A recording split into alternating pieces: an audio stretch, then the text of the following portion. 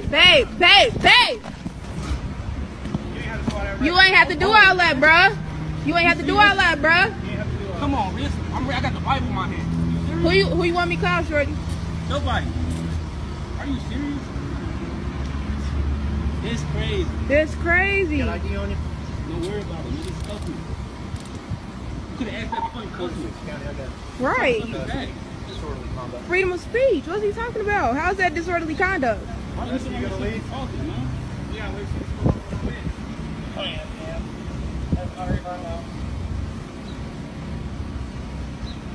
I'm going to hit you with your phone. Calm down, people. Yeah, babe. Chill. What you talking about? You can't arrest me. You ain't got no reason to arrest me. You don't.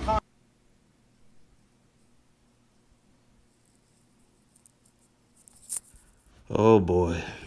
Here we go again, right? All praise to Yahweh Bahashem, Yahweh Shai, Bahashem Rakakwadash. Double honor to the apostles and elders of Great Millstone. Shalom to the hopefully elect. And this one is going to be entitled Hebrew Israelites. Learn from this. Learn from this. Now, I know you saw the opening clip of this boy, you know, and he behaved like a boy, getting arrested by the by the police. The video is entitled Hebrew Gets Arrested for Reading the Bible. The Truth Disturbs the Wicked. And that's a classic, that's a classic Jake thing. You go out there, you go into the highways and hedges, you act disorderly, you get arrested. Now you got arrested for reading the Bible. This dude did not get arrested for reading the Bible. He got arrested because he was behaving disorderly. The police rolled up on you, man, and they said, leave. And you want to stand there and try to make fools out of them, talk, do all that, make a big show, show how, how powerful you are in the spirit. And that's what happens, man. You brothers out there, man, learn from this.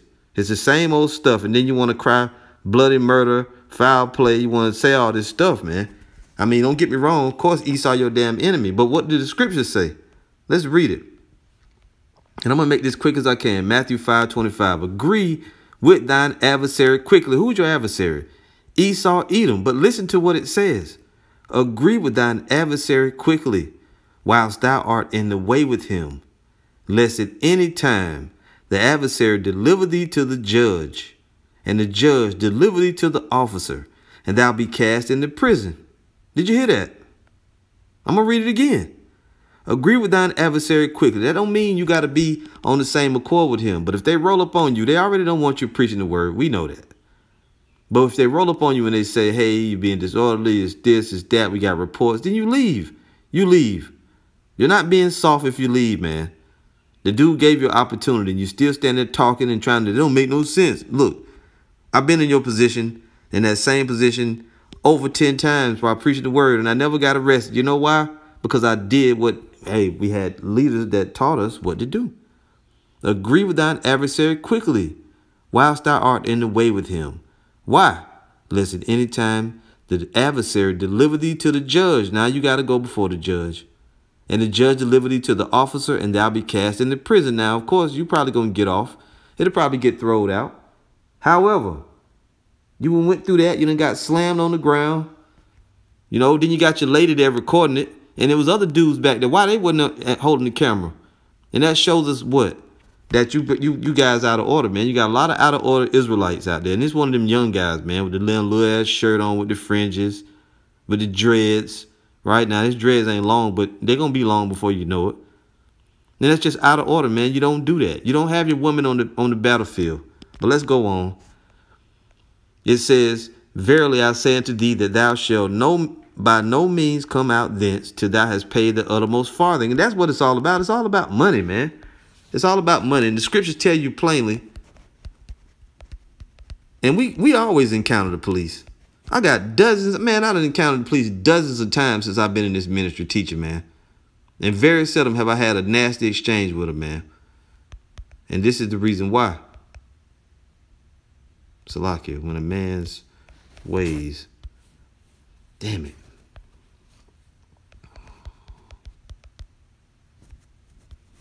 Your brother, just bear with me here, cause I'm, I got all kind of issues here with this phone, man.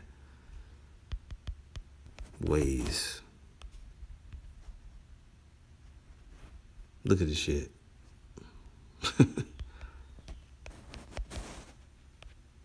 okay. Ah, Proverbs 16 and 7. When a man's ways please the Lord, he maketh even his enemies to be at peace with him. And we done encounter cops. We didn't even talk cops.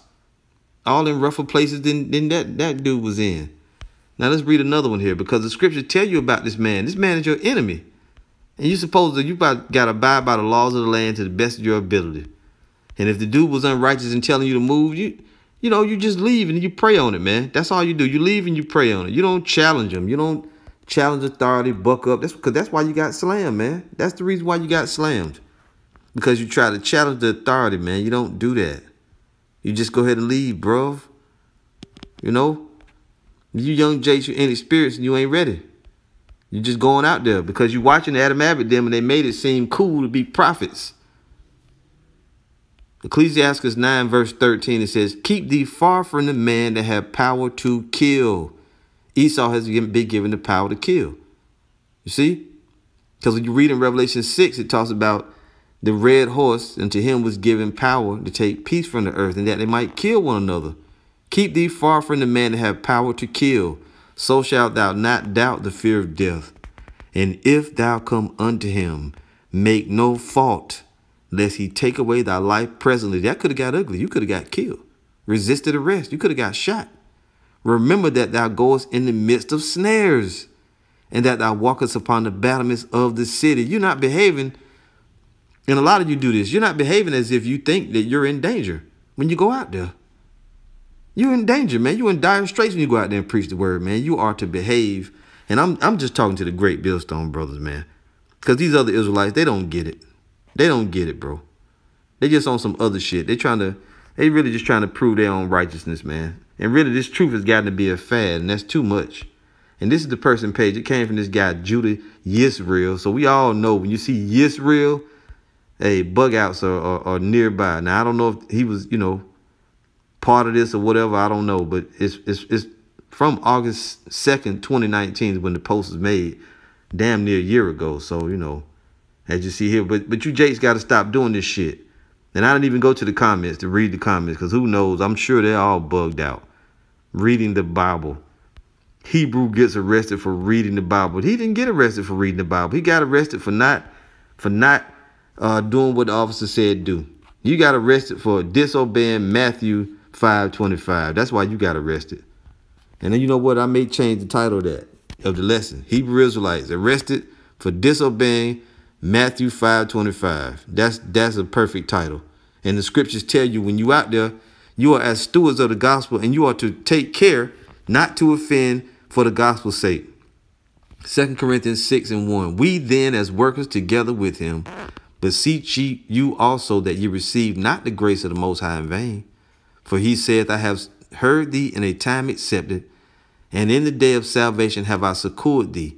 Behold, now is the accepted time Behold, now is the day of salvation, giving no offense in anything, giving no offense in anything. Why? That the ministry be not blamed.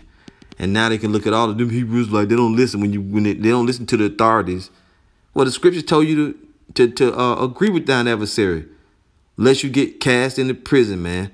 Now, like I said, the dude that that was a small thing. Disorderly conduct is a misdemeanor, but you're gonna have to pay money now. You got to go before which it happened back in August of last year. So it's probably already settled and resolved. But I just got word of this through a bug out, you know, another bug out being out of order. But the video was put up and I actually checked it out and I got I got the information to look it up. So the scripture says, man, plainly, giving no offense in anything that the ministry be not blamed. You got to protect this ministry. And not all think about yourself. Now, another thing that I saw, and a lot of you Jakes is doing that, man. You going out there and you got your woman holding the camera. Women don't belong at the camp, period. Women don't belong at the camp. Women don't belong at the camp. They don't belong at the at the uh on the battlefield. It's just it's forbidden, man. 1 Corinthians 14, 39. Wherefore, brethren, covet to prophesy, and forbid not to speak with tongues, that all things be done decently and in order. When you got a woman holding the camera, you, you know, and I've been there. You know, I didn't had, had you know, I done done lessons, not uh, and had my lady hold the camera while I do the walking talk, but that was way back, man. We done grew, you know, grew past that. You know, We done grew past that. So I mean, I, I ain't gonna keep the lesson long, man. It's just a, quick word. You you Israelites out there, man, wise up. Learn from this, man. Don't be out there trying to be, you know, outsmarting the cops, trying to make them look foolish and keep talking and doing all this shit, man. Okay? And really, that's that comes from a lack of leadership. There ain't no leaders out there, you know, showing these young dudes what to do. You've seen a bunch of young guys with Adam Abbott them, and they make it seem cool. You want to go out there and cut people, embarrass, and make fools out of folks. And I mean, that's not what the ministry is about. But in any any event, Jake gonna be Jake. You know, Jake is gonna be Jake. So it is what it is, man. You know, I'm gonna say all praise to Yahweh Bahashem, Yahweh Shai Bahashem, Rakakwadash. Double honor to the apostles of Great Millstone. Shalom to the hopefully elect. All right, Shalom. Okay, you can either leave or I'll arrest you for disorderly conduct. Okay? Because now I'm telling you to leave. What we do? Turn around. You're telling Babe, babe, babe, babe, babe, babe, babe. You ain't have to do all that, bruh. You ain't have to do all that, bruh. Come on, listen. I'm, I got the Bible in my hand. Who you who you want me to call, shorty? Nobody. Are you serious? It's crazy. That's crazy. on you? Don't worry about it. You just cuff me. You could have asked that before you me. Right. Hey, Disorderly conduct. Freedom of speech. What's he talking about? How's that disorderly conduct? why you You gonna leave? Talking, man. Yeah, leave. Oh, yeah, yeah. That's all right, right now. Not going to hit you. It's your problem. Calm down, Kimo. Yeah, babe, chill. Arrest. What you talking about? You can't arrest me. You ain't got no reason to arrest me. You don't. Disorderly conduct.